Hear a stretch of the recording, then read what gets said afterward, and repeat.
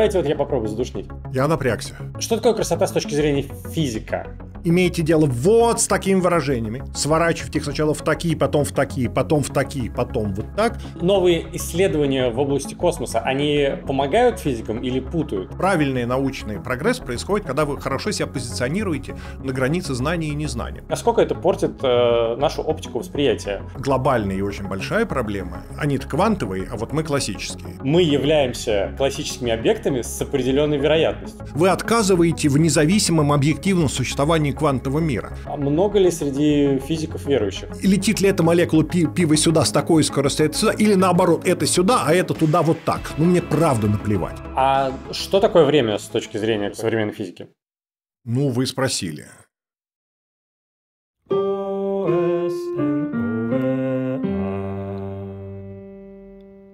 Привет, это проект «Основа», меня зовут Борис Веденский, и сегодня у нас немного особенный выпуск. Дело в том, что раньше на этом канале никогда один и тот же гость э, не выступал два раза подряд. Но сегодня будет именно такой случай. В честь дня рождения э, проекта мы решили пригласить Алексея Семихатова, доктора физико-математических наук. Добрый день. Здрасте. А почему? Ну, потому что за этот год у нас был как минимум один по-настоящему легендарный выпуск, именно с Алексеем, который набрал под 3 миллиона подписчиков, и, мне кажется, действительно любопытный получился. И вот хочется таким образом отметить, повторить э, и расширить, и углубить. Спасибо. Ну, намерения э, всегда получаются одни, намерения одни, а результаты всегда получаются другие, но заодно и узнаем, что получится. Да. Э, ну, я всегда стою перед выбором а, начать задушнить или начать с чего-нибудь э, э, глупого. Иногда, а задушнить, а задушнить как можно, совместить. например? А давайте вот я попробую задушнить. Да. А, Ой, я а, напрягся. Есть ощущение, что э, мы с вами, как люди, смотрим на мир а, из достаточно а, узенького такого, не знаю, конуса. Да? Очень маленький срез мира мы получаем. А, мы мало живем, Э, в сравнении со Вселенной, как мы знаем, да, все несколько десятков лет.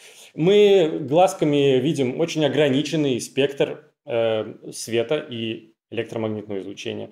А мы что еще с нами плохо? Да а, все. ну да, мы еще живем, мы еще живем вот в этом макромире странном, да. да? Ну, это, он нам кажется очень очевидным и простым, где шарик отталкивает другой шарик, и тот отлетает, и все понятно. Но при этом как мы понимаем, еще квантовый мир, где все совершенно по-другому. Ну, еще там температурный режим у нас определенный, в общем, куча, куча всяких ограничений. Означает ли это, что мы э, видим очень какую-то странную картину, искаженную, и насколько это портит э, нашу оптику восприятия э, Вселенной? Ну, классно. Ну, классно. Ну, смотрите, мне кажется, что наша оптика восприятия глобально испорчена не вот этим окном, а, а просто самой Вселенной, в которой мы оказались. Мы сейчас находимся в той фазе, когда мы начинаем рассуждать почему она такая, и вот это страшно трудно сделать, э, когда она у нас одна. Ну, вот вы живете в городе и никогда других городов не видели. Вы вообще не знаете, какая, что может быть другая система улиц. Э, и это мы через это проходили много раз. Ну, давайте вернемся к началу того, что вы сказали по поводу того, что у нас оптика такая узкая. Но с одной стороны, да, мы живем э, недолго, но вообще каждый из нас живет совсем ерунда. Но для этого у нас есть письменность, прошу заметить. Э, в результате люди, которые да. жили давно, в некотором роде живут, потому что они могут с нами разговаривать через то, что они написали когда письменности не было, все было прям намного сложнее. Человечество, вы скажете, конечно, тоже живет недолго. И действительно, э, глазками мы видим только совсем малюсенький кусочек, узкий кусок электромагнитного спектра. Ну, не будучи дураками, мы что только не делаем. Мы ставим радиотелескопы, которые сделали прям крупнейшее открытие Вселенной. Дальше мы выяснили, что атмосфера э, прозрачна ну, вот для оптического э, диапазона и для части радиодиапазона, а для остальных в основном непрозрачна. Запустили спутники, которые рентгеновское, гамма-излучение ловит, и сделали опять кучу открытий. И а, в результате в электромагнитном спектре, э, конечно, всегда есть куда совершенствоваться, но, в общем, ну, прям совсем не так все плохо. Мы прям многие вещи соображаем когда накладываем видимое изображение на, не знаю, там, рентгеновское изображение, так, сразу начинаем лучше понимать, что происходит. Вот. А, насчет времени а, замечательная история. Каждый из этих телескопов – это машина времени. Потому что угу. он смотрит назад. И чем дальше, чем дальше мы видим э, вот вдаль, тем ровно настолько же, если считать в световых единицах, ровно настолько же в прошлое мы смотрим. Поэтому ура-ура, у нас прям есть представление о том, что было со Вселенной раньше. Ну, настолько, насколько удается видеть. Эта история прямо сейчас развивается, потому что вот Джеймс Веб посмотрел очень далеко и очень внимательно и сказал, ага, значит, там есть вещи, которые довольно трудно объяснить, как они так быстро успели возникнуть с учетом того, что мы до этого знали раньше. Это прекрасное положение вещей, это значит, что имеющаяся модель, мы, э, ну, есть чем заняться, вот, мы ее усовершенствуем. Никто не говорит, что наша физическая теория, э, что у нас вообще, даже что законы физики – это там прям последнее слово. Так что, э, значит, там все э, такой естественный процесс, он, значит, требует уточнений, но это не меняет общего факта того, что мы э, смотрим назад, настолько, насколько удается приблизиться к большому взрыву оптическими средствами. И это не все. А, оптическими там нельзя э, приблизиться больше, на 380 тысяч лет от Большого взрыва. Оптически имею в виду электромагнитными. Это тут такая, такой жаргон, потому что слово электромагнитное излучение ужасно длинное, а свет короткое. И волей-неволей, прям ничего с этим нельзя поделать, часто называешь светом, вот в таком контексте все, от радиоволн до там, жесткого гамма-излучения. Ну, такой Электромагнитные волны, да. Так вот, значит, электромагнитным способом мы можем видеть только от момента 380 тысяч лет от Большого взрыва, когда свет стал распространяться относительно свободно по Вселенной из-за того, что там перестали летать туда-сюда заряженные частицы, а он стал в целом, Вселенная стала временно такой в основном нейтральной. Вот, но у нас есть э, шансы а, гравитационные волны, совершенно отдельный канал э, ухватывать. А, и с помощью гравитационных волн, значит, получать, может быть, может быть, может быть, получать информацию о том, что было раньше, и, может быть, даже проверить там следствие теории инфляции, которая такая, напомню, есть такой приквел. Приквел к истории про большой взрыв. Вот э, удачный сериал, э, его когда снимают, э, делают сиквелы, а иногда делают приквелы. Что делали герои в молодости?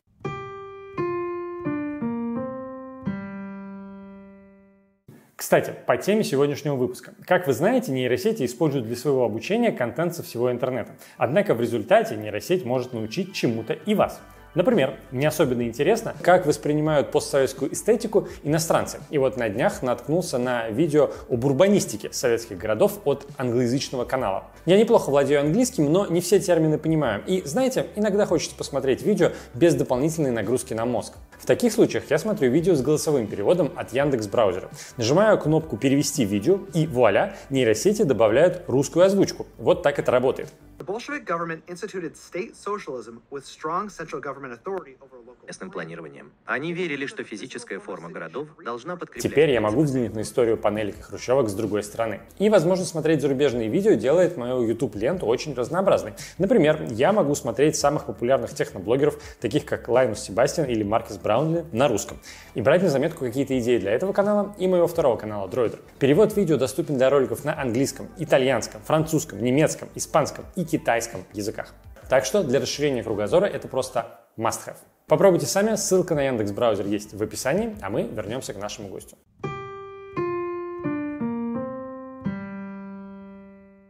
Вот представим, что мы сидим в комнате и смотрим замочную скважину, да, и через замочную скважину мы наблюдаем соседнюю комнату. Да.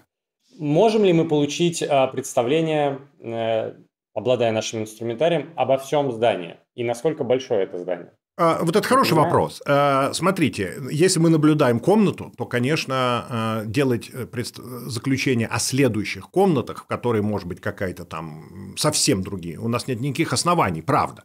Поэтому то, что мы наблюдаем, это все-таки наблюдаемая Вселенная. Тот вопрос, который я уже один раз чуть-чуть коснулся, того, что вот значит, есть другие а, условно есть. Непонятно, в каком смысле есть. Может быть, есть другие вселенные, где может быть все по-другому, и закон физики, может быть, даже другие. Но это чисто умозрительная конструкция. Ее мы реально наблюдать не можем. А по поводу вашей метафоры, мы, конечно, наблюдаем замочную скважину, мы с этого начали, но затем мы просверлили некоторое количество еще отверстий, мы приложили туда слуховые аппараты, мы поставили какие-то там другие датчики движения, и всю вот эту вот, и довольно много так собираем по крохам, и вот все вот это вот э, довольно плотно анализируем. Ну, там прям сильнее, чем какие-нибудь, извините, спецслужбы э, делали бы это, если вот они реально с, так, с какой-нибудь комнатой так же поступали. Просто сидят люди и там годами размышляют о том, какая новая информация получена оттуда, во что она укладывается. Это раз. И два, мы все-таки, и мы очень много узнаем. Правда, здесь есть вот существенный момент.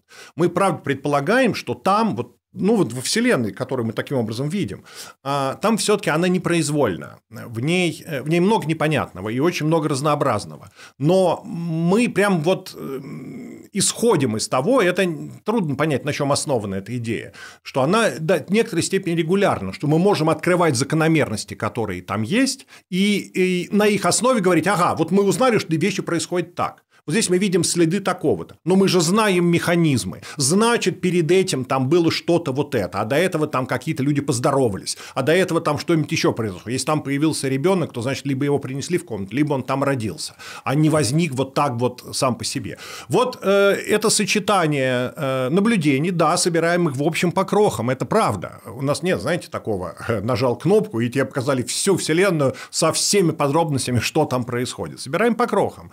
А много думаем и накладываем, вместе идут эти вещи. Э, собираем э, вот, наблюдательные данные с нашими теоретическими представлениями, которые тоже значит, там, годами из чего-то вырабатывались, проверялись опытом и так далее. Такой вот, такой вот процесс, вот, собственно, в этом в некотором роде физика и состоит, такая вот изучающая мир.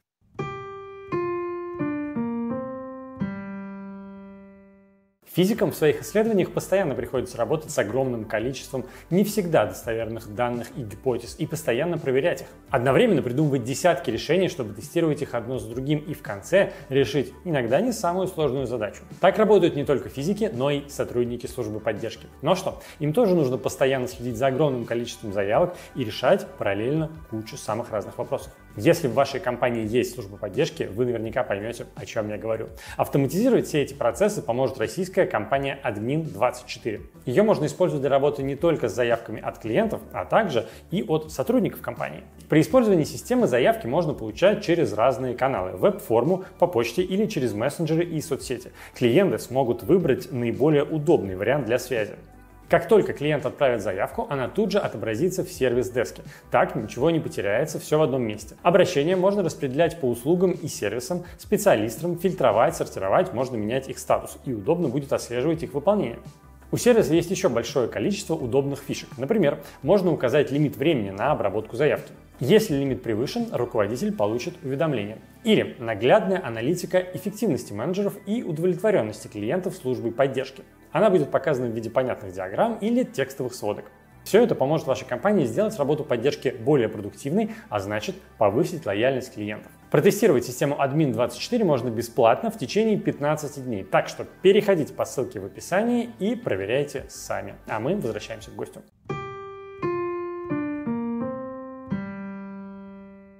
Вы уже сказали про Джеймса Веба сами. Эм, вот э, новые исследования в области космоса, они помогают физикам или путают? Путают? Значит путают? Э, э, физика – развивающаяся вещь. И ученый, любой ученый, физик, не физик, там, биолог, да географ, в конце концов. Ну, с географом сейчас мне из, из моей следующей метафоры трудно будет про географа ее, географа ее применить, но в каком-то смысле, несомненно, тоже. Это люди, которые просто стоят э, посреди незнания. И чем больше незнания, тем лучше. Значит, вот правильный научный прогресс происходит, когда вы хорошо себя позиционируете на границе знания и незнания. Поэтому как только происходит mm. чего-то, чего вы э, не понимаете, э, но это не очень далеко от того, что вы понимаете, вы имеете шанс проложить туда дорожку. Если вы зададитесь вопросами, которые вообще подвешены в воздухе и прям ни с чем не связаны, ни на что не опираются, ну, вы не понимаете, какой инструментарий есть, чтобы на них вообще отвечать. Вот, в этом смысле нужно правильно себя позиционировать. И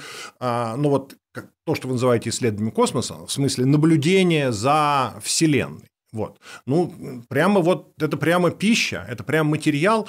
А, тем более, тем более, что а, ведь вот в этих исследованиях сошлось два противоположных направления. И изучение там, элементарных частиц, где мы уперлись в энергии, которые мы на коллайдере можем значит, себе позволить. Ну и все. И там что родилось, то родилось. А что не родилось, мы не знаем, существует оно или не существует.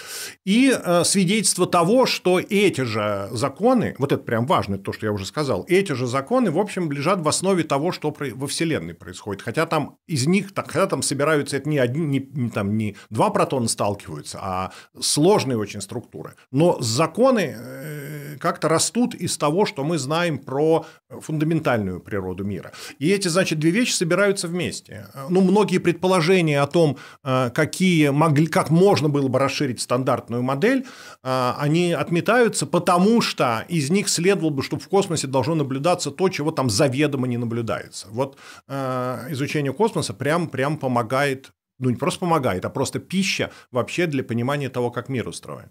А я, правда, у вас, видимо, какой-то еще душниловский вопрос хороший, нет? Потому что я вспомнил, что вы еще в вашем первом душниловском вопросе было, э, был еще один аспект, который вот, на который труд... от которого труднее отговориться способом, которым я тут от вас отговариваю. Так. Что, к этому?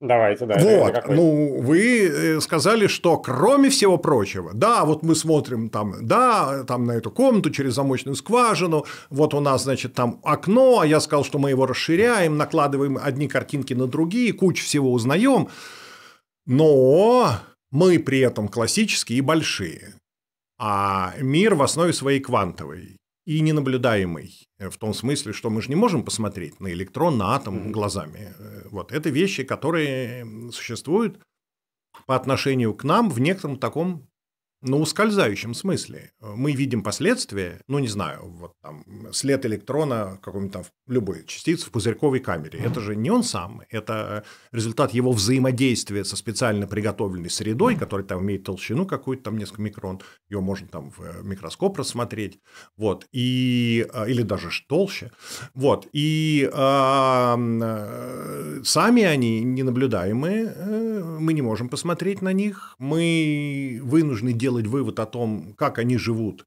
по э, косвенным данным. И вот здесь прям проблема, э, которую вы частично затронули, прям в полный рост стоит.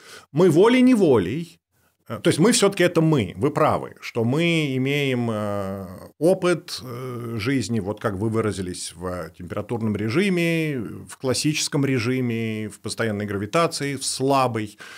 Вот. И, и наша, вся наша интуиция, она направлена на что? Ну, что такое интуиция? Это какие-то а, а как у нейронных сетей. Мы чему-то обучились, э, более-менее знаю, что это горячее, это холодное, отсюда можно упасть, mm-hmm. вот, э, этим можно порезаться, ну и так далее. Масса таких вещей, там вода мокрая, вот. И э, отлично, значит, в голове создается такая картина мира, которая заменяет прям куски этого мира. Но мне не нужно, значит, там выяснять, разглядывать кошку во всех деталях, если я слышу мяуканье и вижу хвост. Но я примерно знаю, что это кошка, потому что как раз там всякие фокусы относительно того, когда люди пугаются, или там неожиданно, когда вот им вроде кошка, а потом оказывается, что это совсем даже не кошка. В обычной жизни я э, вот примерно знаю, что у меня за спиной сейчас, вот, и не оглядываюсь туда каждый раз. Вот, опять-таки, э, всякий психологический эффект, когда за вами вдруг что-то неожиданно меняют, они поэтому так и действуют, потому что я мозг, мой мозг работает э, так вот, предсказывая мне, что происходит. В результате я все время картину, которая у меня в голове, накладываю на окружающий мир. И эта инерция, она естественным образом продолжается, когда мы начинаем говорить о квантовом мире, мы на него туда угу. проецируем вот эту картину, которая отлично помогает нам жить вот в нашей такой обычной жизни. Ну, а там она ни черта не работает. И это действительно проблема. И тут несколько проблем. Во-первых, в каком смысле вообще можно говорить о том, что они там делают сами по себе. Ну и глобальная и очень большая проблема – это эм, э, они-то квантовые, а вот мы классические. Каким образом происходит это разделение, что за него отвечает, э, ну и вообще какой смысл в классическом мире, э, ну, почему он вообще возник, ну, Классический мир, который я... Смотрите, давайте так, очень, так, очень смело. Классический мир, который я вижу, это вообще результат того, что я о нем размышляю, а его как бы нету. Он мне примерно кажется. Ну, и правда, тут возник... Если кажется, да, понимаете, какая проблема? Вам кажется, ну, понятно, что между нами есть некоторые различия, но э, вам кажется, в общем, примерно то же самое. Этот же стол, там, эти же стены и так далее. Вот, то есть, э, с одной стороны, можно предположить, что это из-за того, что мы его наблюдаем, но с другой стороны, тогда нужно объяснить, почему э, разные наблюдатели так сильно согласны, очень во многом согласны относительно того, что в этом мире есть, как он устроен, какие у него законы.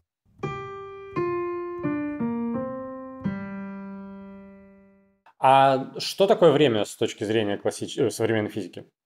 Ну, вы спросили. А, но ну, это несколько. Знаете что? Наверное, главное, что нужно сказать, что время это прямо несколько разных вещей.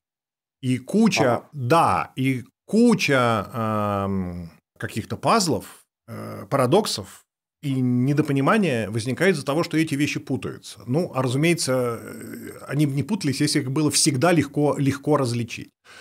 Ну, во-первых, время – это порядок, ответственность за порядок событий. Давайте я сначала про пространство скажу. Мне будет проще да, так.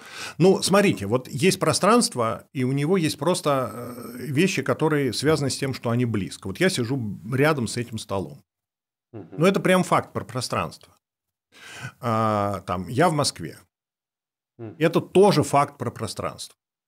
А, или там, я рядом с чем-то, а рядом со мной находится что-то еще это такое реляционное пространство, когда э, вы объясняете, что находится в вашей близи. Если очень глубоко смотреть, то это... Про время будет то же самое. Мне про пространство просто чуть проще сказать, чуть важно зафиксировать основные, основные моменты. Э, этот реляционный подход, он э, возможен, потому что законы физики локальны. Почему я могу сказать, что я вот близко к этому, если так глубоко подумать?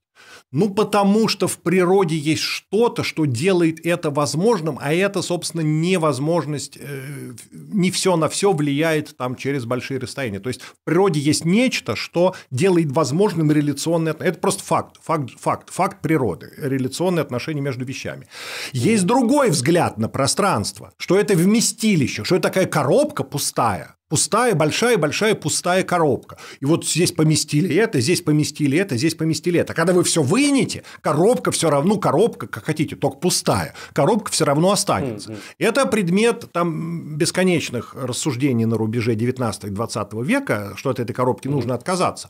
Но вся ньютоновская теория которая близка, которая замечательна, это картина мира, все, но она близка вот к нашей классической интуиции. Она придумала вот эту вот так пустую коробку, что есть пространство как некая абстрактная сущность. Это не поле, не тело, ни что. Это просто вот некая пустая коробка. Такая, ну... Так нам в школе, извините, на доске рисуют x, y, z. Вот тебе эта коробка, пожалуйста. Нет, ну, нет, ну правда, от этого, от этого правда трудно, там и Декарт тоже внес свой вклад, да, от этого правда трудно отказаться. Вот. Угу. А, вот что есть некое, и у Ньютона это было абсолютное пространство, и вот эта абсолютность этого пространства, она, собственно, мешала, э, психологически мешала восприятию э, специальной теории относительности.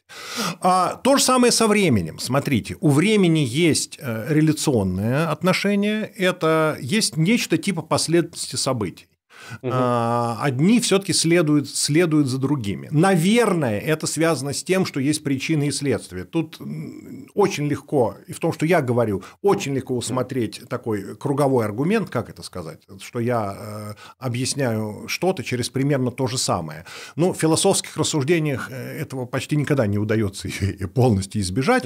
Но и кроме того, я пытаюсь выразить то, что, в общем, в природе наблюдается. Ну, ну мы знаем, что время течет. Вот что события каким-то образом... Вот. Дальше выясняется, что с течением времени есть интересная штука. У, у меня есть воспоминания о том, что было, но не о том, что будет. Это так время сильно отличается от пространства. Я вижу вокруг себя следы того, что было. Там, я вижу там кратеры на Луне, в которые попало что-то. Я вижу свет от Солнца, который происходит из-за того, что на Солнце что-то произошло в прошлом, а не то, что произойдет, произойдет в будущем. И э, э, Ньютон добавляет к этому такое абсолютное время, так же, как и абсолютное пространство, что есть еще некоторая вселенская такая координата, вот так, как вы сказали, только время, такая вот ось, такая воображаемая, а, которая, значит, э, и все, что есть, помещается на этой оси. И она такая одна по всей Вселенной. Такая, на самом деле, такая четырехмерная коробка. Коробка, в которой есть э, три измерения пространства, и еще везде, значит, стоят замечательные такие часы, которые вычис показывают, ничего не происходит, но часы показывают время, есть нечто такое. И вы... дальше выясняется, что это уже не так в специальной теории относительности, и это прям факт жизни. И там не, на самом деле философски еще раньше отказались от абсолютно. Ну, многие люди говорят, что нужно отказаться от абсолютного пространства, а факт, проверенный неисчислимое количество раз, ежедневно, ежесекундно и все, то, что, э, вот то, что специальная теория относительности называется пространством временем, это нет абсолютного разделения на пространство и время, а в зависимости от движения я немножко по-разному выделяю временное направление в неком четырехмерной истории, но что-то типа коробки, все равно до некоторой степени остается. Она просто не одинакова для всех. Движение меняет мой взгляд на там углы в этой коробке, грубо говоря, там между некоторыми ее осями, на то, как, как она перекошена. А потом наступает общая теория относительности, которая говорит о том, что подождите, подождите, подождите. Вообще у каждого свое время. Вот вообще ничего похожего на э, не просто, значит, там у, разных наблюдателей разные взгляды на время, но они их могут продолжать там далеко во Вселенную, куда-то далеко во Вселенную. А вот здесь вот э, у этого летящего у него такое-то время, а этот может вот это назвать временем, а этот может это назвать временем, а у того, кто попал в черную дыру и попал туда в центр, э, ну, то, что мы называем сингулярностью за неимением лучшего описания, время просто закончилось, просто закончилось и все. Везде во Вселенной идет, а тут оно закончилось. Что значит, э, нет такой единой картины, а есть следование, следование э, одних событий за другими, и э, характер того, как это, не, не, не порядок причинных событий, но тем не менее подробности того, как это происходит, они э, э, отдельны для каждого, для каждого наблюдателя. Каждый считает, ну, время, возьмите одни часы, э, держите в руке, держите здесь, одни подбросьте, поймайте, и они у вас начнут показывать немножко разное время. Какое из них истинное? Ну, никакое, потому что это зависит от того, какое время вы выбираете. В зависимости от напряженности гравитационного поля, ну, напряженность гравитационного поля, вот Ньютон – это вообще почти синоним замедления в ходе, в ходе времени. Вот, то есть, время в, в гравитационном поле течет по-другому, медленнее в сильном гравитационном поле. Вот. Э, по сравнению с тем, где оно, что оно течет без этого. И это вот есть, значит, если часы отправлять туда-сюда и сравнивать. Mm-hmm. Вот. И, это какое-то другое время, у него нет такого абсолютного характера. А есть время, кроме того, которая мы, вот и тут снова вот эта вот история, мы как большие ну, системы чтобы наблюдаем. это закрепить, э, значит, э, мы отправляем на спутник часы, и потом спускаемся со спутника, и они рассинхронизируются. Нет, ну они, конечно, синхронизируются. Это самый GPS не работал бы, если бы мы не учитывали, не учитывали этого факта. Ну, проговорить просто надо. Вот, что да, просто там гравитационное поле на 20 тысяч километрах чуть слабее, но оно, то есть оно заметно слабее, чем здесь, но а, разница в ходе времени, она вот, вот совсем вот, так, вот такая вот такая, ничтожная, но когда вы с помощью GPS умножаете, определяете координаты на Земле, вы эту разницу во времени умножаете на скорость света, чтобы получить mm-hmm. расстояние, и у вас там довольно большие ошибки, э, довольно большие ошибки набираются. И mm-hmm. это то, что не просто проверено, а значит используется, и вот, э, ну прям вот, что называется, в народном хозяйстве. И э, это говорит о том, что прямо вот э, у каждого свое время, в зависимости от того, что вы делаете, и вы можете подпрыгивать, у вас будет другое время, чем если вы не подпрыгиваете. Подожди, а, а это значит, что если у нас будет колония на Марсе, то там будет э, как-то принципиально по другому времени идти, потому что там притяжение другое в два раза слабее, по-моему. Ну, на Луне, давайте, ну, если у нас будет колония на Луне, то а, это же очень хороший вопрос. А, только э, речь идет там о пик-секундах. Там она на, сек... она на каких-то там, ну, нано, наверное, секундах там за, за год. Вот. Сейчас э, не соображу. Но э, Смотрите, сигналы, раз вы об этом заговорили, сигналы, э, вот службы точного времени на Земле, она учитывает неоднородности в гравитационном поле Земли. Прям вот буквально так. В разных лабораториях известно, что в разных лабораториях время течет э, с чуть-чуть разной скоростью. Это прям не шутка. И они обмениваются сигналами, причем при обмене сигналами учитывается, разумеется, время распространения сигнала от одной лаборатории к другой. И э, когда вот они публикуют публикуют точное, приточное, приточное время, это э, некоторое разумное среднее по этим, по измерениям в этих, в этих лабораториях. Разумеется, mm-hmm. речь, только чтобы не было там э, смешения понятий, это, конечно, не, не речь не идет о поясном времени, о чем-то таком, это некая такая вот, они пытаются, там universal э, time, они вот таким образом пытаются, не пытаются, а просто таким образом поддерживают. Если вы теперь, да, и про каждую лабораторию померено, просто известно померено, насколько, какую поправку нужно вносить в ее показания по сравнению с показаниями другой лаборатории в эти сверхточные часы. Угу, Если вы теперь захотите эту схему распространить на Луну, то у вас прям несколько, несколько проблем, которые нужно решить. Ну, во-первых, э, время обмена с Луной – это, конечно, это прям колоссальная разница, это прям секунды. Там туда-сюда – это там полторы секунды, ну, 300 тысяч километров, в общем, О. да, чуть, вот, вот, почти 3 секунды туда, 2 секунды туда-сюда. Это легко учесть, но дальше Луна находится на разных расстояниях от Земли.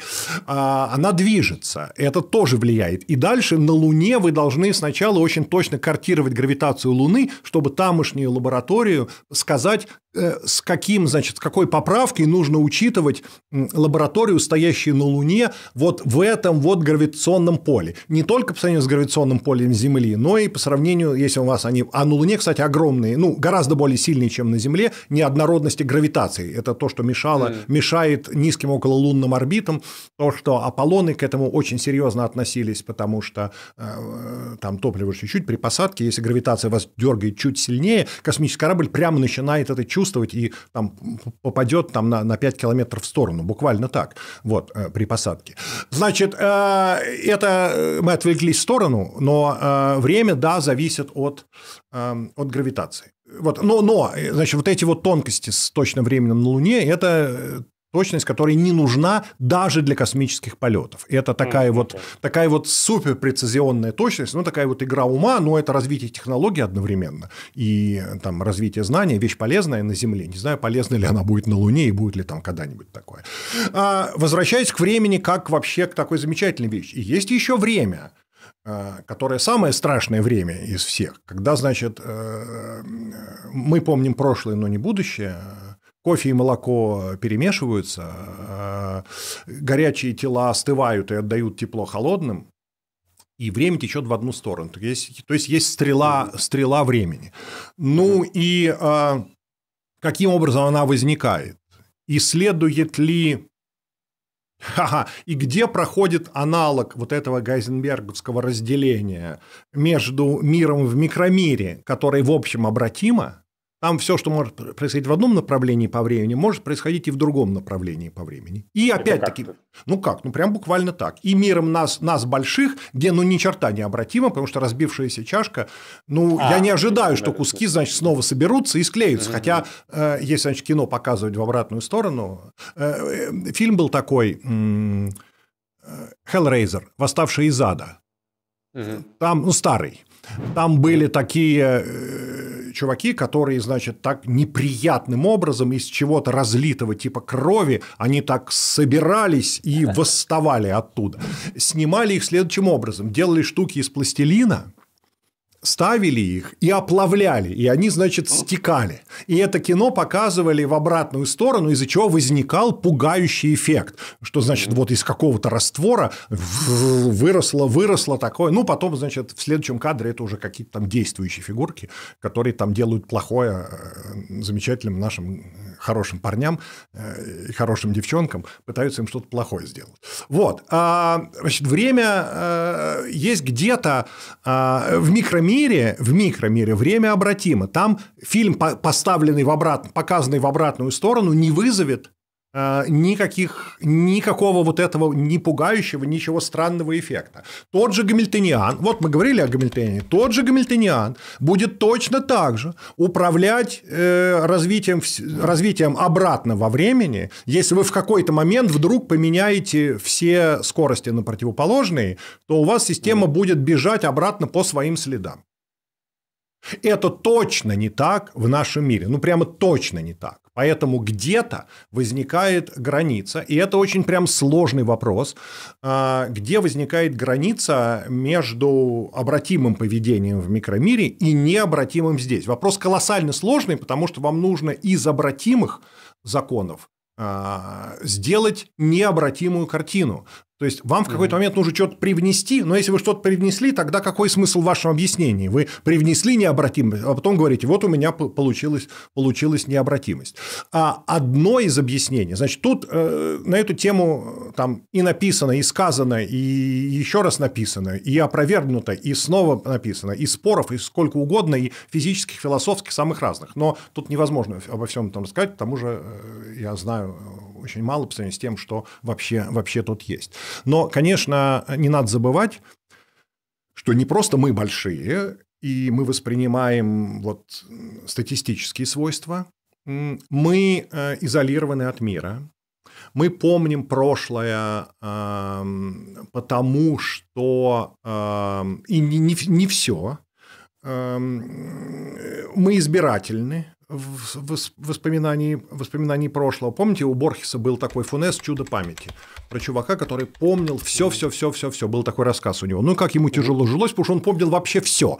А, в общем, если эту мысль продолжить, то а, если вы помните все, то вы в каком-то смысле не являетесь вот системой такой, какой мы с вами являемся. Вы часть этой вселенной, потому что вы, у вас нет возможности что-то выделить на чем-то. Вы, вы все заполнены происходящим. Вы продолжаете оставаться частью системы. Это история э, близкая к той, о которой мы уже говорили, что для вот, э, декогеренции, выделения классического, нужно понять, где разница между там, наблюдателем, системой и средой. То Точно так же, когда мы говорим о том, что я что-то помню, мне нужно выделить меня и мне нужно, чтобы у меня было некоторое взаимодействие со средой, и это взаимодействие со средой должно обладать, обладать некоторыми, некоторыми свойствами, э, которые сохраняют э, память. Ключевой момент – низкоэнтропийное э, начальное состояние. Значит, мы не только большие, мы еще и живем во Вселенной, развивающейся от большого взрыва к ну, куда-то, то есть в одну угу. сторону. И, наверное, наверное, наверное, наверное, ну так, не знаю, как на этот вопрос ответить, но можно ли здесь сделать такое э, стопроцентное утверждение? Ну, наверное, наверное, наверное, если бы это было не так, просто предположение, что значит, если бы в нашей Вселенной не было большого взрыва, ну, тогда была бы другая Вселенная, не мы были бы и так далее. Но в некотором смысле, наверное, если бы исходное состояние не было низкоэнтропийным, то э, мы не видели бы стрелы времени и у нас бы не было бы памяти про прошлое. Ну вот... Э, Низко, так, давайте разберемся. Низкоэнтропийным это что значит? Это очень упорядоченным? Ну, низкоэнтропийным, смотрите, значит, про энтропию часто говорят, что это мера беспорядка. Э, другое да. дело, что дальше выясняется, что вам очень трудно независимо определить меру беспорядка, не говоря, что это беспорядок – это когда высокая энтропия. Значит, энтропия э, – это потерянная информация. Это информация, которой я пренебрегаю. Опять-таки, это прямо такая важная штука. Мы большие. И когда передо мной, значит, там банка с пивом, мне совершенно все равно, какая молекула пива, я знаю, что молекул пива нету, но пусть они будут. Какая молекула пива находится, вообще хорошее изобретение, какая молекула пива находится здесь, какая находится здесь, летит ли эта молекула пива сюда с такой скоростью, это сюда, или наоборот, это сюда, а это туда вот так. Ну, мне правда наплевать. Вот если туда добавить молекулы не пива, а разбавить пополам молекулами воды, тогда я скажу. Но это различие макрокартин. А, а одна и та же макроскопическая картина банка с пивом, вот с конкретного сорта причем, предположим, я даже сорта пива могу различать с завязанными глазами. Значит, банка пива конкретного сорта передо мной, ну, мне правда наплевать, что там делают молекулы этого пива. Ну, вообще наплевать, раз они, вот они там.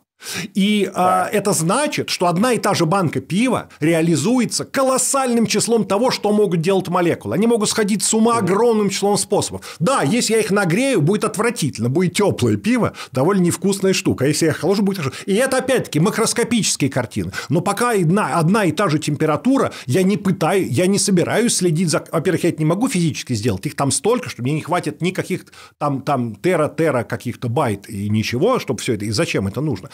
И это вот потерянная информация, это, собственно, энтропия. И когда я э, холодное и горячее соединяю вместе, что происходит? Пока оно горячее, одно горячее, другое холодное, есть некоторая чуть меньше возможностей для молекул там распределиться. Быстрые все-таки в основном должны быть там, где горячее, а медленные в основном должны быть там, где холодные. И э, очень много способов реализовать эту одну картину и другую. Но еще больше способов, когда они стали теплые, потому что тогда молекула может быть и здесь, и здесь, и здесь, и здесь. Мне не нужно больше, потеряна дополнительная информация о том, том, что часть молекул летали в общем медленно, а часть летали в общем быстро.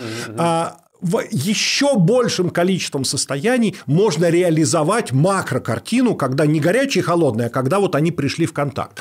И, значит, мы видим развитие событий в сторону э, большего числа микроскопических состояний, стоящих за одной и той же макрокартиной. Когда э, кофе разлилось в молоке, э, это ситуация реализуется большим числом состояний, чем когда все-таки молоко здесь, а кофе там. Ну, потому что молекулы uh-huh. кофе могут делать все, что хотят, но, но и все-таки они не там, где молекулы молока. Вот. Uh-huh.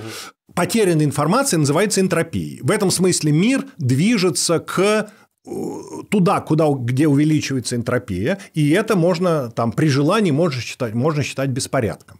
То есть а, бульон все сильнее замешивается, да, и все эти ингредиенты все сильнее Все меньше, все меньше, в некотором роде все меньше различий. Это не всегда так. Вот, э, понимаете, здесь очень, здесь очень легко сделать утверждение. Это звучит парадоксально с учетом того, что нам говорят, что Вселенная расширяется, это значит, что отдельные ее части, наоборот, должны вместе меньше взаимодействовать. Это прямо расширение Вселенной, это прям большая тема относительно того, каким образом возникает а, это, это вещь сильно связанная, тоже, тоже сильно связанная со временем. Сейчас я попробую, сейчас я попробую это прокомментировать. Значит, э, низкоэнтропийное состояние в начале, по-видимому, по-видимому, это то, что из-за чего у нас есть память э, о прошлом, а не память о будущем. Ну вот стандартный пример такой замечательный, Равелли его предложил. Значит, у вас, представьте, у вас имеется ящик, и в нем летают какие-то шарики типа молекул. Ну, пусть упругие шарики летают туда-сюда, и стенки упругие, они все время соударяются, и они довольно отчаянно там носятся.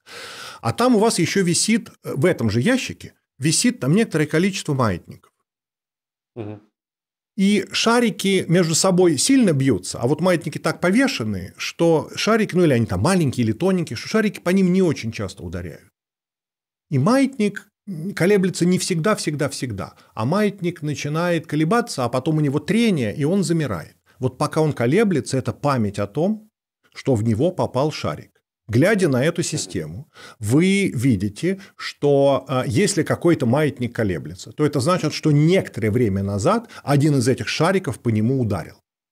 Там нету противопол... Из-за того, что в маятниках трение. Там нет противоположного процесса. Когда какой-то маятник вдруг дал пинка шарику, маятник неистово качался и дал пинка шарику, и шарик от этого стал летать. Нет, происходит, происходит ровно наоборот. От шариков передается что-то маятникам, и маятники некоторое время релаксируют. Пока он колышется, сначала они покоились. Когда он колышется, вы знаете, ага, это память о том, что в него какой-то шарик попал. Вот. И угу. что здесь очень важно? Здесь важно низкоэнтропийное начальное состояние. У вас неравновесие в начале. У вас шарики носятся, а маятники, которые являются память, во-первых, изолированы от шариков, до некоторой степени изолированы. Они не все время долбасятся друг от друга. И они находятся в покое. То есть вы побеспокоились о том, чтобы создать состояние с низкой энтропией в начале. И в нем у вас возможна память. А за счет того, что... То есть память – это некоторая информация.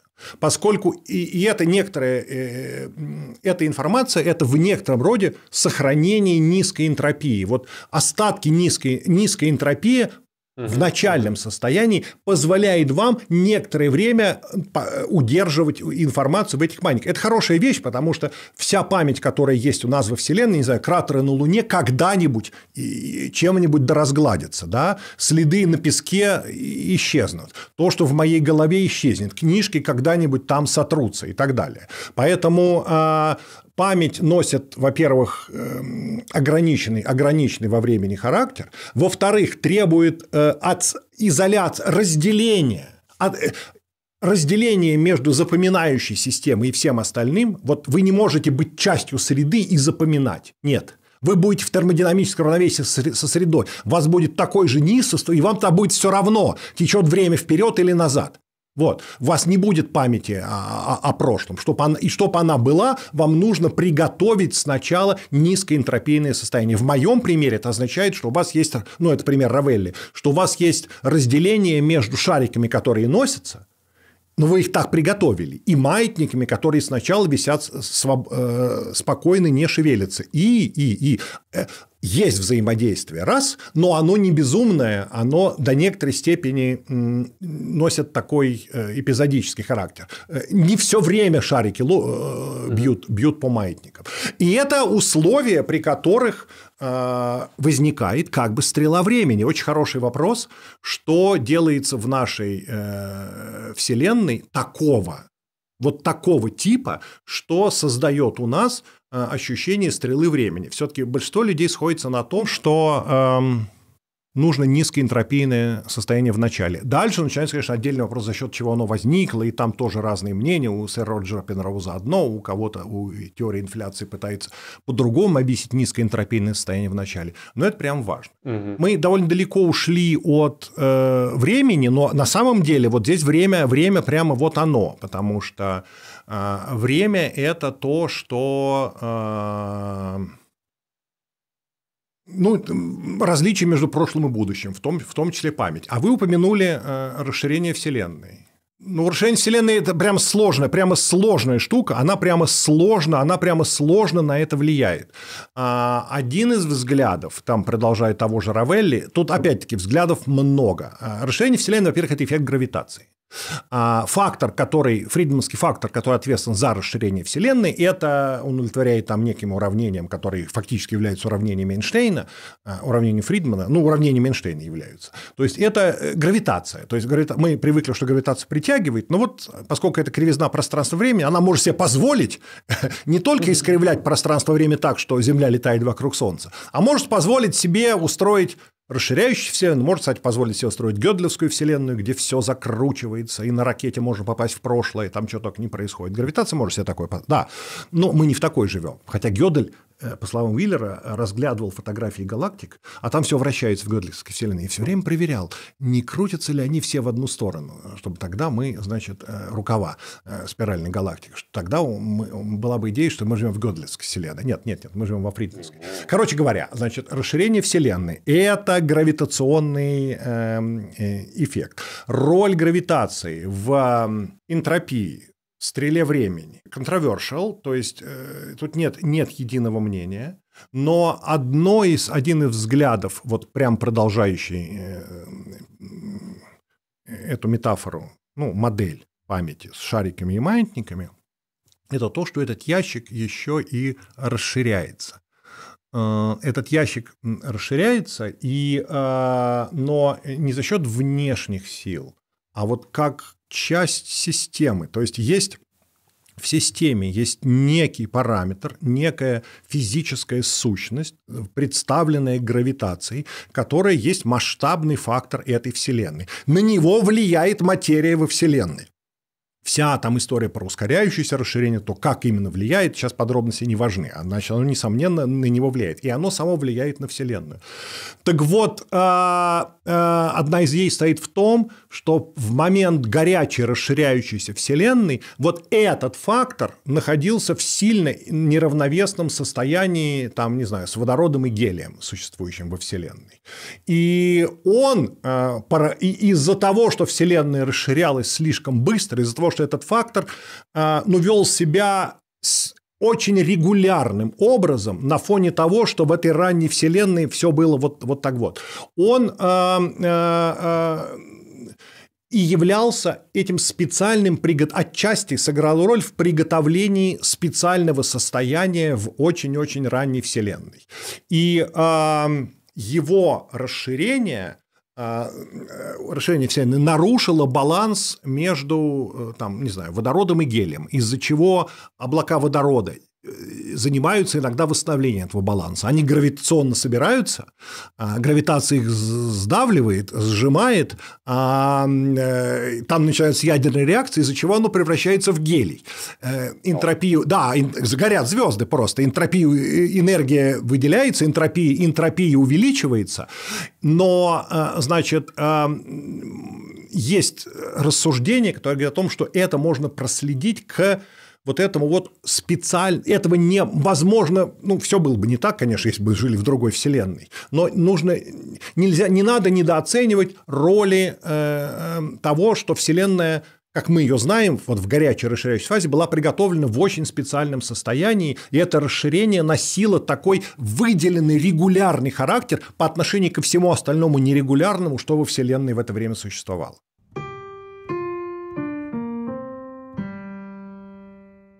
Я как раз хотел спросить вас о том, где происходит вот эта граница между квантовым миром и классическим э, или макромиром. Потому что в прошлом выпуске, который был год назад, мы много говорили про то, как устроен э, микромир, он же квантовый, и что электроны – это не шарики, которые крутятся вокруг других шариков и так далее. У них есть много интересных свойств. Но в какой-то момент э, значит, вот эта квантовая физика превращается в нашу классическую физику, ньютоновскую. И вот да. как это происходит, и Почему это происходит? И мне такое ощущение, что у вас нет ответа, судя по вашей предыдущей реплике. А, э, ну, э, нет, ну давайте так. Если коротко, то ответа нету, а если э, долго, то ответов несколько, и они не полные, но очень, как бы сказать, богатые. Да богатая, богатая пища к размышлению.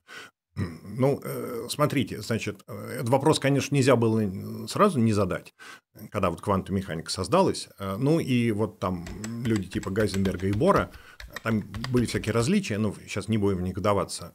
Они заявили то, что называется копенгагенская интерпретация. Слово, кстати, придуманное потом. Вот они сами про себя так не говорили. Вот. А, а они оба там похоронены, насколько я знаю. Еще. А, э, там еще вот какая история. Там э, после, в 1957 году, после Второй мировой войны, Гайзенберг приехал в Манчестер э, с такой лекцией. Ну, война закончилась уже, все-таки там 12 лет прошло, надо было как-то как начать всем вместе разговаривать, там все хорошо, значит, э, снова все со всеми дружат, э, значит, нужно было как-то вот э, мосты наводить.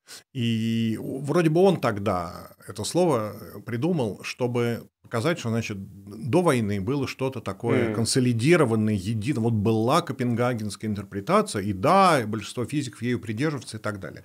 Значит, если оставить в стороне эти э, исторические э, спекуляции, то э, спекуляции по поводу самой, значит, по поводу содержания, они примерно такие. Да, мы классические.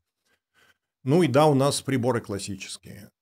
Что это значит? Это значит, что наши приборы не зависают в наложении, в суперпозиции двух состояний. Потому что вообще-то, если вы думаете, что прибор управляет квантовой механикой, когда туда вылетает электрон в суперпозиции двух состояний, спин вверх и спин вниз, прибор по всем законам квантовой механики, это линейная наука, э, по уравнению Шрёдингера должен перейти в состояние э, тоже суперпозиции. Значит, а, одна его компонента – это прибор измерил спин вверх, и ручка прибора смотрит вверх, ну, условно ручка, называется там ручка, угу. поинтер, указатель прибора. Угу. А, так удобно говорить. Вот. Потому что это какой-то материальный кусок, который мы глазами можем видеть, что он переместился. В общем, к этому все сводится. А значит, другая компонента в этой суперпозиции, это значит, прибор измерил спин вниз, и ручка прибора смотрит, смотрит вниз, и они наложены друг на друга. Ну и дальше начинается вся эта история, что когда мы на это смотрим, мы тоже должны ха-ха оказаться в суперпозиции, мы должны запутаться. Это, значит, запутывание, вот сейчас модное слово, оно э, по всем законам квантовой механики должно происходить каждое. Оно происходит все время. И в результате а, не всех-всех, но большого числа взаимодействий вот в, в, в данном случае.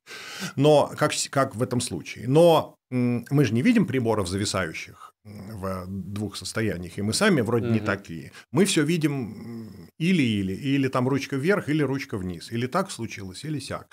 Э, откуда они берутся? Ну, вот, значит, вот Бор и Гайзенберг сказали, значит, они просто нужны. Они просто, во-первых, они просто есть, это факт. Во-вторых, и это вот прямо такой методологический, такой загогулина, выражаясь, повторяя известную фразу известного человека, значит, она стояла в том, что э, для того, чтобы придать смысл квантовой механике, мы, большие, должны пользоваться этими большими приборами, поэтому нам нужны приборы, которые не подчиняются квантовой механике. Точка. Они не подчиняются квантовой механике. Это классические приборы. Они не зависают. И мы с помощью этих приборов э, делаем э, измерения над квантовыми объектами и что-то такое получаем. Э, ну и что-то про них узнаем. Спрашивается, а где проходит граница между вот квантовым и этим? Это, это важный вопрос. Я его просто переформулирую. Говорю, что он, он, он был с самого начала. По-английски это называется Heisenberg, Heisenberg cut разрез, ну, разрыв, проведенный Гайзенбергом. То есть Гайзенберг сказал, что где-то между вот этим маленьким и между нами есть такой вот как это лучше сказать, кат, разрыв, разрез, э, рубеж, рубеж, рубеж может быть. Я не знаю, какой канонический русский перевод. Вот. Ну, и он довольно... А потом, значит, выяснилось, что его можно двигать туда-сюда.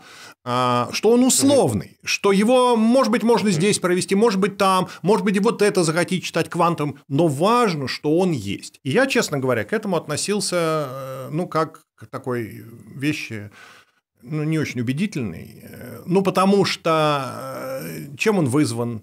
Э, какой, какой, какая причина? Философское уродство, выражает словами, философское уродство, выражает словами Хью Эверетта, который как раз в борьбе с этим философским ростом придумал разделяющиеся вселенные, что для того, чтобы вы отказываете в независимом объективном существовании квантового мира. Вы говорите, что чтобы обосновать существование квантового мира, вам нужен мир классический, при том, что этот классический, мы же понимаем, что он сложен из тех же протонов и нейтронов.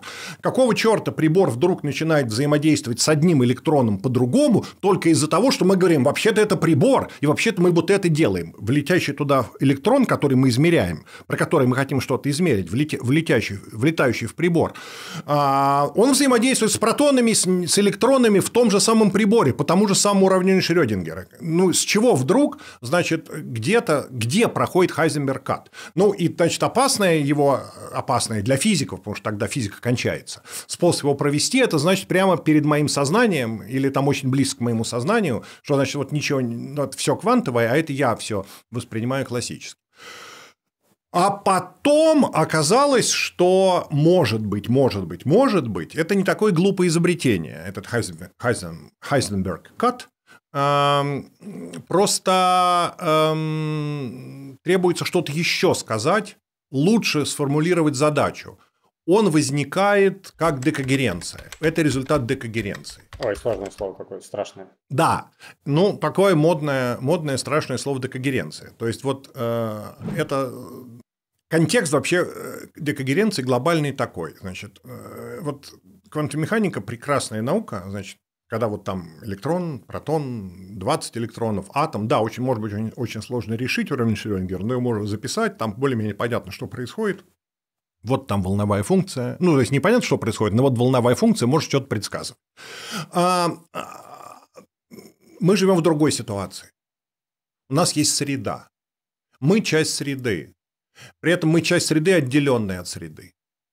Это прям важно. Вот это прям важное осознание. Понимаете, мы не э, протоны, там, водород, раскиданный по космосу. Вот. Мы точно совершенно от него отделены. И мы проводим границу между собой, как наблюдателем, системами, которые, значит, вот где-то тут рядом с нами, и там всем остальным миром. Вот. А, эм, и это разделение на э, изучаемую систему и среду, и, может быть, наблюдателя, оно э, не строгое. В этом смысле этот cut можно передвигать э, действительно. Просто разные, в, в раз, не то, что передвигать, в раз, есть разные постановки задачи. В одной постановке задачи вот так, в другой может быть немножко по-другому. Но в большинстве случаев нам, в общем, понятно, э, где среда, что является среда, средой, а что является э, системой. И э, э, среда на самом деле с системой взаимодействует. Вот ключевое слово. А, ну, потому что нич- ничто не изолировано. Это про это история. Что, с одной стороны, во Вселенной э, все, почти все, очень многое с очень многим взаимодействует. С другой стороны, у этого взаимодействия есть элементы локальности. Это значит, что э, вот прямо сейчас здесь на вас не воздействует то, что прямо сейчас находится, иначе был бы полный кошмар, ни, ни в чем нельзя было бы разобраться. Это значит, что мы можем проводить какие-то границы. У нас есть какие-то средства, не строгие, они зависят от контекста, выделять э, себя, выделять систему, которая нас интересует, говорить вот эта среда. Они взаимодействуют. И что делает э, среда? Среда э, взаимодействует с системой, она ее в общем наблюдает. Э, это такой жаргон, что, понимаете, вот говорят, роль наблюдателя, наблюдатель увидел это, он измерил вот это, он увидел ручку вверх в приборе а, или ручку вниз, а не их, значит, от, откуда это все берется. Чтобы подчеркнуть, что вообще-то говоря, вот сознание и сознательный наблюдатель здесь совершенно ни к чему, а, ну, совершенно приятно, конечно, что у нас есть сознание, и мы наблюдаем, но совершенно не обязательно, правда. А, среда занимается тем, что мониторит, мониторит систему, она с ней взаимодействует. А взаимодействуя, она с ней запутывается. Тоже, вот так, как я сказал, тоже запутывается. А дальше выясняется, что вот запутанность, э, которая вызывает мое, э, мою озабоченность, ну вот то самое, что прибор должен запутаться, запутаться с электроном, или там кошка Шрёдингера должна оказаться в запутанном состоянии, это ровно запутанное mm-hmm. состояние, когда компонент спины электрона вверх э, идет вместе с кошкой живущей, а компонент спины электрона вниз идет вместе с кошкой мертвой. И это такое единое образование. Оно не разделяется на то или другое. Они вот существуют таким непонятным образом. Значит, э, среда запутывается с, с моей системой, и э, та запутанность, которая меня беспокоила, рас, распределяется, распределяется по всей э, среде и становится просто моим незнанием о том, в каком состоянии находится кошка, живая или мертвая. Э, по-другому это называется так. У них даже есть понятие э, дарвин... то ли космический дарвинизм, то ли квантовый дарвинизм. Вот, дарвинизм – это значит uh, survival of the fittest выживание наиболее приспособленных. Значит, а, проблем формулируется так. Вот эти вот суперпозиции странные вообще, а, то есть они не странные, они там в некотором роде, мы ими пользуемся, они там дают нам правильные предсказания, но вот в Гильбертом пространстве, где они живут, огромное-огромное число состояний, ну прямо такое число состояний, которое вот, ну, слишком много для того, что мы наблюдаем в нашем мире. Там все вот эти странные запутанные состояния всего, всего совсем есть. Взаимодействие со средой в некотором роде разрушает все, кроме специальных состояний, вот этих, они называются pointer states, потому что это вот ручечные состояния, значит, вот указательные состояния, указатель прибора вверх, указатель прибора вниз, или вверх, или вниз. Это состояния, которые устойчивы при взаимодействии со средой. То есть взаимодействие со средой декогерирует, разрушает запутанность и оставляет те состояния, которые мы, собственно, и наблюдаем. То есть вот этот вот а, возникновение изучение классического мира из квантового – это результат, это чуть-чуть субъективная вещь, потому что нужно сказать, что является системой, что является средой. Это прямо нужно заявить. И тогда среда отбирает в системе, ну вот там электрон плюс прибор, отбирает там э, состояние, которое мы, собственно, и наблюдаем. По-видимому, мы сами таким же образом отобраны. Это и, там еще одно модное слово есть ein selection, а, то есть э, индуцированное окружением environment, induced selection, индуцированное окружением а, отбор, отбор состояний из дурацкого количества состояний в Гильбертовом пространстве отбираются те, которые мы, собственно, и наблюдаем. Ну, вот я не могу сказать, чтобы тут вообще все было, вся эта история была, во-первых, прослежена от самого начала до самого конца, и чтобы все были согласны, что прям тут все вот так идеально работает. Но эта идеология, и многие эту идеологию критикуют, сейчас скажу за что, но ну, ученые все время друг критикуют, наука – это такой скепсис, никому не дают расслабиться, и это правильно, потому что иначе будут произвольные гипотезы, все время приходится отбиваться. Но это то, что э, такой тренд, который говорит о том, что вот, елки-палки, э, классическое есть... Э, не ищите класси... возникновение классического мира в пока вы не провели э, границу между системой и, и средой, потому что, в принципе, все квантовое. Вот вообще все квантовое. А это в каком-то смысле то, что мы решили, что нас интересует вот этот кусок, дальше выясняется, что, скорее всего, если этот э, формализм удастся, там, этот подход там, прописать во всех деталях, что взаимодействие со средой э, выделяет э, состояние, которое воспринимается как классическое. Вот так. Что я, как я услышал, да. э, среда во всем виновата. Ну, среда заела. Нет, ну среда действительно, нет, ну правда, среда действительно виновата. И это, это, знаете, философски мне это как раз очень идея, идея-то правильная, потому что, э, ну, э, ну, мы же, вот, как бы это выразиться, мы не сами по себе. Все, что мы есть и все, что мы наблюдаем, угу. это результат, ну, более-менее взаимодействия, с одной стороны, всего со всем, ну, это правда. И там всяких предысторий и так далее. А с другой стороны, э, все-таки, и это прям тоже очень важно, э, э, вот в этом мире, где, в общем, как бы все взаимодействует со всем, мы выделяем локальные куски. Локальность очень большое значение имеет. Мы выделяем локальные куски. Мы каким-то еще образом выделяем куски, которые нас интересуют, которые осмысленно выделить. Есть даже более-менее формальные математические критерии, не связанные с тем, что у меня в голове. Каким образом можно выделять Э, некоторые системы и environment.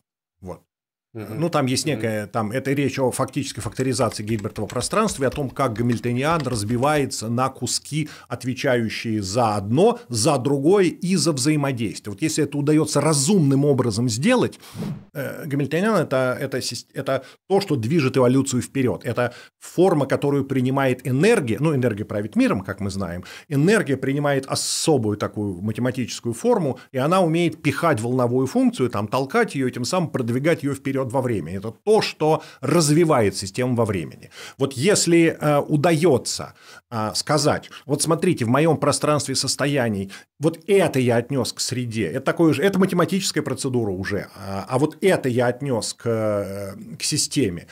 И э, там все взаимодействует со всем. Но у меня есть кусок, который отвечает только за среду кусок, который отвечает только за систему, и относительно, как сказать, в некотором роде маленький кусок, который отвечает за их взаимодействие, то их взаимодействие до некоторой степени сохраняет индивидуальность среды и системы, а не перепутывает их. То есть это какое-то разумное разделение. Вот если мне удается так сделать, то тогда наступают какие-то там последствия относительно того, что я могу говорить про декогеренцию, ну и не только про декогеренцию, в общем, там... Э, то есть к формализму, какая мораль? К формализму который вот просто вот в книжках про квантовую механику, такая математическая схема. Вот бери, там вычисляй, делай, там что-нибудь получится. Мы всегда невольно добавляем понимание того, к чему мы ее применяем, и многое остается за кадром. И если все оставить за кадром, то тогда у вас копенгагенская интерпретация. Э, большие приборы классические, а, значит, все там внутри тебя квантовое, а большие приборы классические.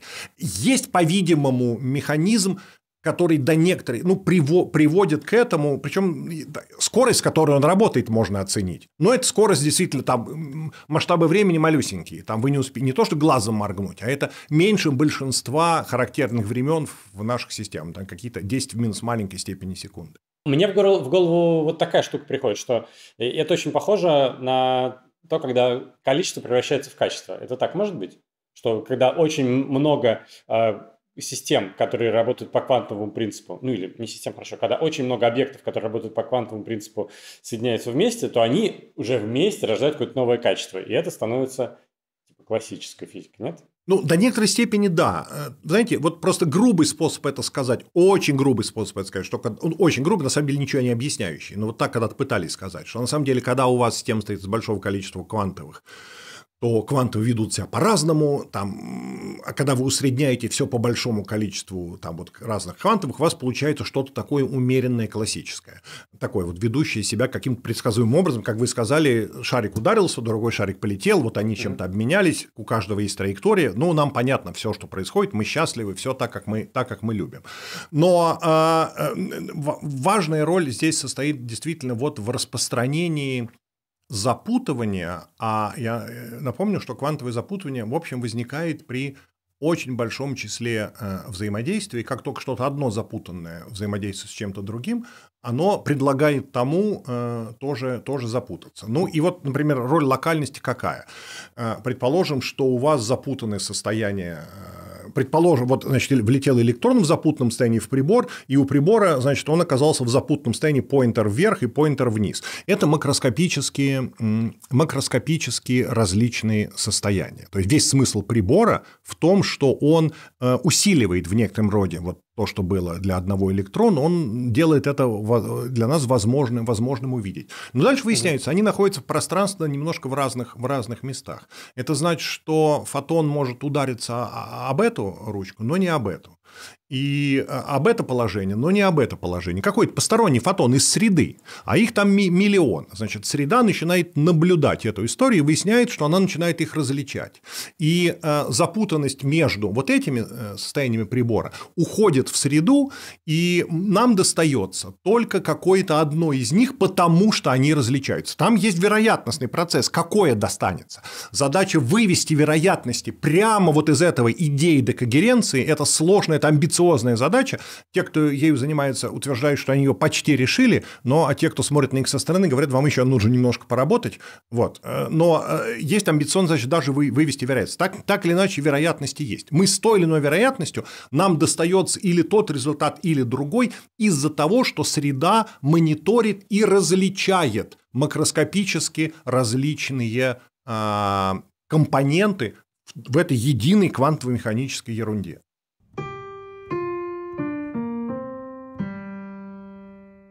Вот это слово интересно вы произнесли. Э, ге... Как, как еще раз? Декогеренция. Нет, другое. Как, которая движущая сила для Гамильтониан. Энергии... Гамильтониан. Гамильтониан. Движущая сила, да, то, что движет мир вперед. Вот, очень интересно. Э, в, в этом аспекте я хотел спросить, а, а много ли среди физиков верующих? Не знаю. А Гамильтониан э, может э, быть доказательством, не знаю, креационизма? Нет, гамильтониан – это техническое средство, а, которое э, часть уравнения Шрёдингера. Ну, может ли дифференциальное уравнение быть доказательством креационизма? Ну, мне трудно себе это представить. Вот. Э, так что это техническое средство, а, но по смыслу это энергия, а, которая принимает специальный вид математический, который умеет толкать волновую функцию. Она пропихивает ее э, вперед по времени. В этом, собственно, спасибо Шрёдингеру. В этом, собственно, смысл, в этом смысл уравнения Шрёдингера. Я вам сейчас словами пересказал уравнение Шрёдингера. Энергия при, принимает специальный вид и пинает волновую функцию так, что она развивается вперед по времени. Вот все.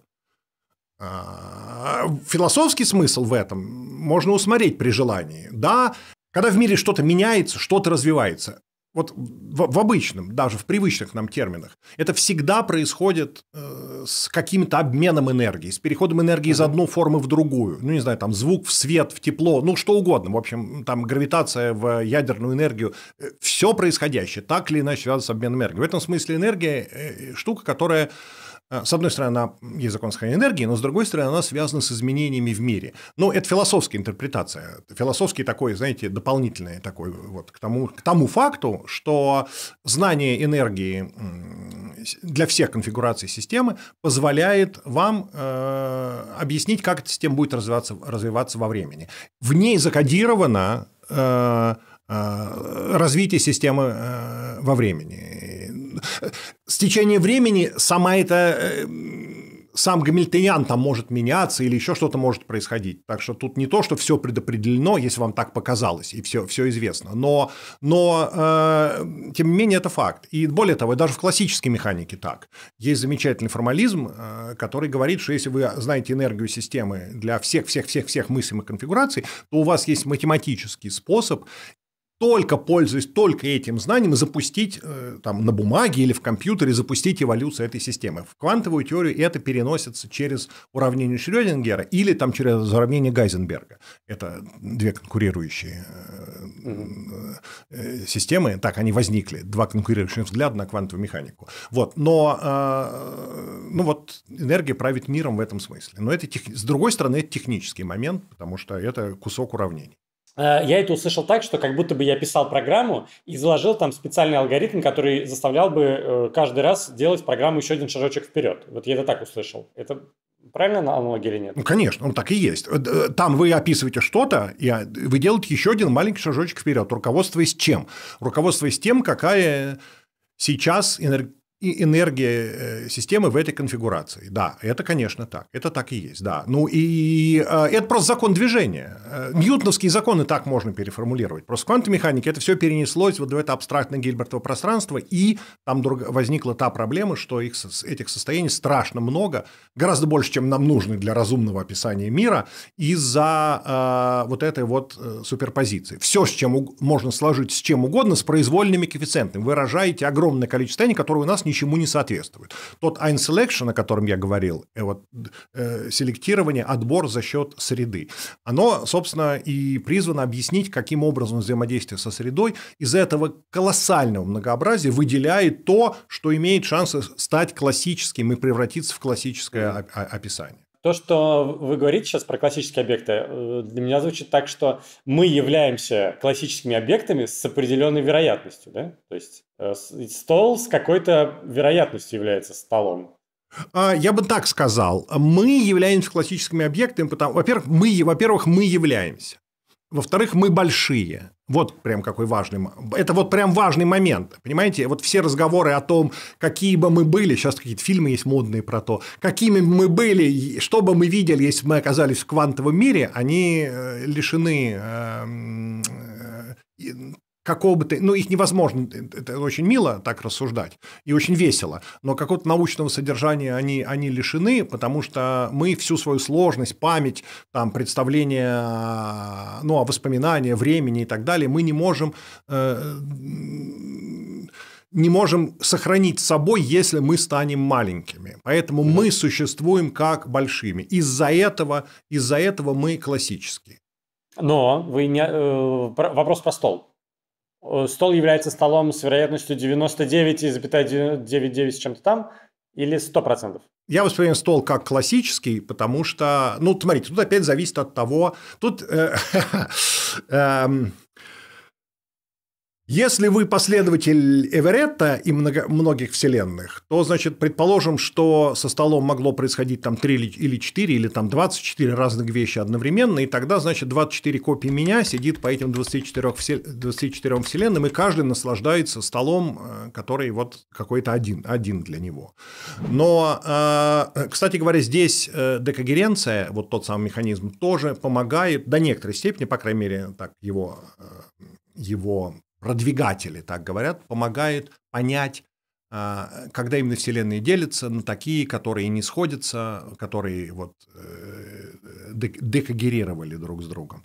Вот. Но, а, э, в общем, стол, э, если вы не экстремист многовселенной, эверетской интерпретации, то, значит, мы живем в одной вселенной, и а, стол, я наблюдаю стол классическим, потому что мне досталось если он находился вдруг в суперпозиции, мне достался какой-то вариант из, с некоторой вероятностью мне достался тот или иной вариант. Но если это прибор, э, не стол, а там прибор, вот с, с этой ручки вверх, ручки вниз, я увидел тот или иной вариант из-за того, что среда постоянно, воздух, воздух, все на свете, свет, воздух, магнитные поля, все, вообще все, то, от чего нельзя изолироваться.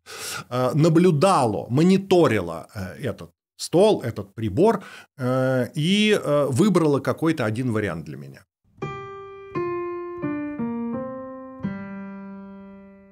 Что такое красота с точки зрения физика? Потому что там, антрополог ответит одним образом, э, культуролог ответит другим образом, а что физик скажет? Ну, странная история красота с точки зрения физики. Да, с одной стороны, она есть, и есть такие там пропоненты этой э, идеи, там, типа Дирака, что э, уравнения непременно должны быть обалденско красивыми, э, то есть какими-то изящными, Наверное, это минимализм, а, пусть достигнутый а, высоко а, развитыми средствами. То есть это вот что, вы изучаете, ну вот уравнение Дирак, прям классический пример. Вы некоторое время изучаете совершенно непонятные и доселе неизвестные вам вещи, странные, какие-то там э, алгебру Клиффорда, потом выясняете, что у нее есть представления, потом выясняете, они эквивалентные, там все, потом вы, вот, э, представления в виде матрицы там 4 на 4, 4, записываете с их помощью уравнения, и бац, оно оказывается, когда вы все упаковали, вот это все знание в некоторые вещи, несущие на себе правила обращения с ними, это прямо очень важно, у вас возникло емкое, простое, короткое, очень емкое выражение. Это с точки зрения теоретической физики красота. Э, уравнения Эйнштейна до некоторой степени красивые, если не считать того, что, ну там та же самая история, вы очень долго развиваете дифференциальную геометрию, э, имеете дело вот с такими выражениями, сворачиваете их сначала в такие, потом в такие, потом в такие, потом вот так, кладете эти в уравнения, бабах, уравнения сами про себя все знают, записано компактно, там там три слагаемых, вот так вот если глазами смотреть, но за ними скрываются вот, вот столько, вот столько. Красиво? Ну да, потому что выразительно и экономно. А, э, вот. И люди к этому привыкли. И вроде это начинает играть с людьми сейчас, ну, с физиками, может быть, даже и плохую шутку, потому что привычка к тому, что все правильное, должно быть красиво, она, ну, это, собственно, ни на чем не основано. До сих пор так часто было. Но уже, например, Лагранжан стандартной модели. Это вот такой вот, вот такой набор слагаемых. Каждая из них довольно емкая, но они не упаковываются все вместе во что-то вот такое. Вот это там, вот если его полностью написать, это все равно, это все равно вот столько. И э, мечта о том, что мы, может быть, найдем какую-то теорию там более общую, более, извините, красивую, стоящую за стандартной моделью, наверное, там, ага, значит, вот это все упакуется во что-то, возникнет понимание о том, что это разные части, разные осколки чего-то одного, там, может быть, попорченные какие каким-нибудь там аналогом Хиггса или чего-то еще, вы, вы их соберете вместе во что-то такое единое и убедительное. Совершенно ниоткуда не следует, что это э, должно э, иметь место. И, э, значит, тут есть, соответственно, две школы мысли. Одна говорит, что так всегда было, и поэтому мы должны стремиться всегда э, к красивым вещам, по-видимому, определение красивости операциональное такое емко и эффективно. Вот. Угу. Коротко и при этом эффективно. А другая школа мысли говорит, мы должны следовать за природой, какая она есть. И угу. нет, нигде нет такого закона природы, что ее законы должны быть красивыми. А, а могут быть э, такие какие-то фундаментальные свойства у природы, которые э, ведут к минимализму. Ну вот э, мы смотрим на снежинку, они все разные, но они все очень красивые. Э, это э, почему? Или нам так кажется, потому что э, мы свое определение красивости делаем из того, что снежинки такие. Я, так... знаете, я думаю, что вы затронули э, другой аспект того, о чем мне, мне надо было сказать, сразу отвечая на ваш вопрос, что красиво еще когда туда воплощены некоторые симметрии. Вот в снежинке очевидно некоторые симметрии. Если вы ее очень сильно исказите, то клянусь, вы скажете, снежинка, ну вообще какая-то некрасивая, вот угу. дурацкая, дурацкая снежинка, ну вообще не, то есть может быть она интересна именно этим, потому что таких снежинок мало, но вообще-то некрасиво.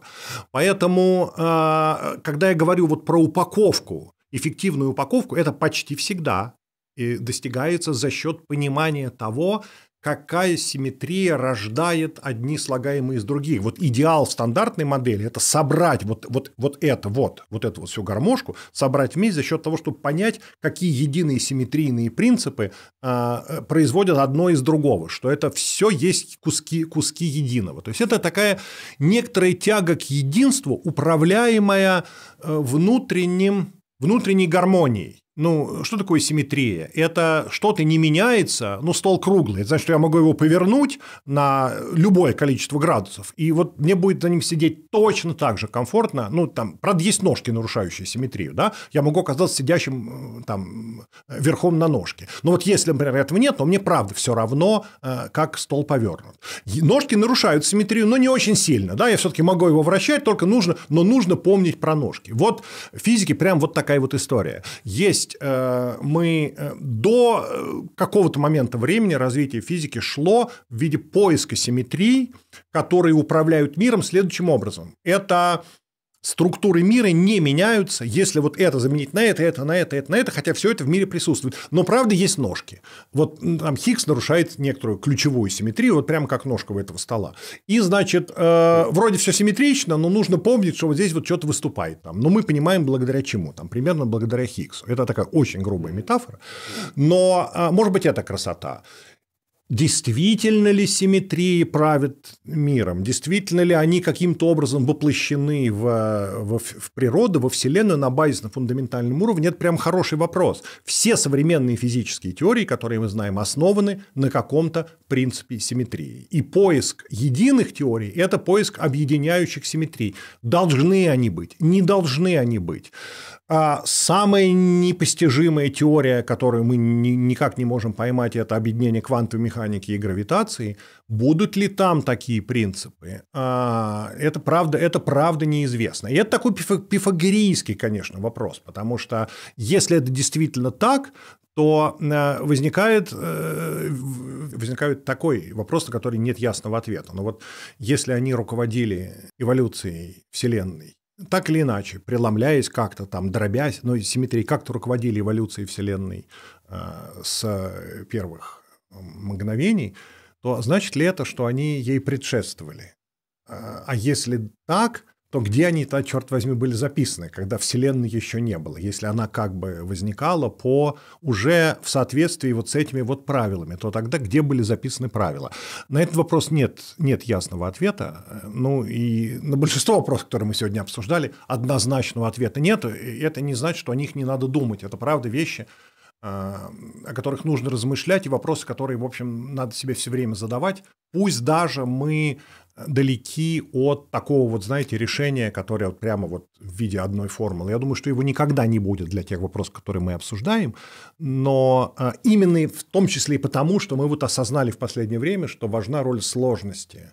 А, одно дело, что делают там элементарные составляющие объекты, удовлетворяющие прекрасным уравнением, все вместе удовлетворяет уравнением, но дальше эта Вселенная делится на, по факту, вот она поделена на какие-то системы. Мы а, одна из таких систем, каждый из нас, и мы, и, и даже и вот наш мир, который вокруг нас возник. В общем, а, это вопрос сложности мира. Мне кажется, что это то, что будет изучаться еще довольно долго, а, без идеи надежды получить э, щелчком пальцев одно единое уравнение, но со все более глубоким пониманием того, чем мы являемся в этом мире и как мы с ним взаимодействуем. Может быть, проблема как раз в том и заключается, что наша идея о том, что мир прекрасный, единый, цельный и минималистичный, мы пытаемся эту идею наложить да, на, на эм, наше изучение, и, и от этого не складывается. Иногда, нет, нет, иногда э, складывается, и более того, во многих случаях складывалось. Сейчас, mm-hmm. может быть, может быть, все, что, может быть, все, что можно было таким образом сложить, мы уже сложили. Это неизвестно. Mm-hmm. Это правда неизвестно. Это только будущее покажет, но а, интересного в любом случае очень много. Mm-hmm. Excitement, excitement mm-hmm. гарантиит, выражаясь словами Илона Маска по другому поводу. И вот так мы закруглились э, на то, с, э, с чего и начинали. Но, может быть, продолжим эту тему еще через год. Так что спасибо, что посмотрели. Спасибо большое, Алексей Семихатов. Было очень интересно. Спасибо всем. До свидания. Спасибо, друзья, что посмотрели. Подписывайтесь, жмите колокольчик, жмите лайк. Это основа. Меня зовут Борис Сиденский. Счастливо. OSNO.